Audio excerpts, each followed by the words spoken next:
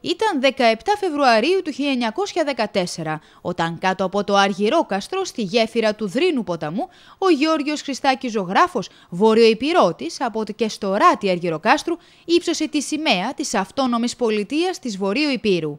Σήμερα, 97 χρόνια μετά, και οι βορειοϊπηρώτες θυμήθηκαν. Υπήρχε αναφορά στο βορειοϊπηρωτικό αγώνα του 1914, ενώ σήμερα όμως έχει απαλληφθεί. Γιατί; Οι Έλληνες μαθητές, συνεπώς, δεν μαθαίνουν για τη ζωντανή αιστεία του ελληνισμού της Βορείου Υπήρου, μιας αρχαίγονης και μαρτυρικής κοιτίδας του ελληνισμού, που έχει προσφέρει στην Ελλάδα από μεγάλους εθνικούς ευεργέτες και ολιμιονίκες μέχρι και βαρύ φόρο αίματος για την ανεξαρτησία της πατρίδας.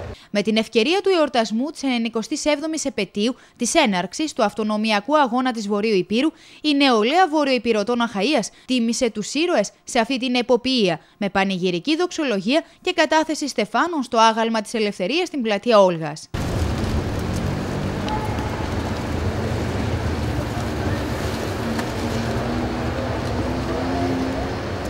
Είστε το ίδιο και περισσότερο από μας Έλληνες και πατριώτες της μεγάλης πατρίδος της Ελλάδας. Δεν έλειψαν όμως και τα συνθήματα. Οι δεν είναι Αλβανοί, Έλληνες πολίτες και πολιτικοί.